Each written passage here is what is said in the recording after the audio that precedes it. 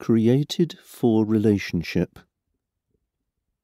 The Lord God said of Adam, It isn't good for the man to live alone.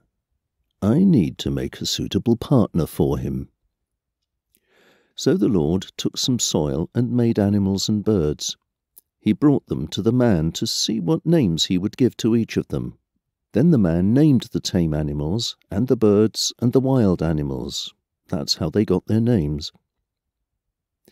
None of these was the right kind of partner for the man. So the Lord God made him fall into a deep sleep, and he took out one of the man's ribs. Then, after closing the man's side, the Lord made a woman out of the rib. The Lord God brought her to the man, and the man exclaimed, Here is someone like me. She's part of my body, my own flesh and bones. She came from me, a man, so I will name her Woman. That's why a man will leave his own father and mother. He marries a woman, and the two of them become like one person.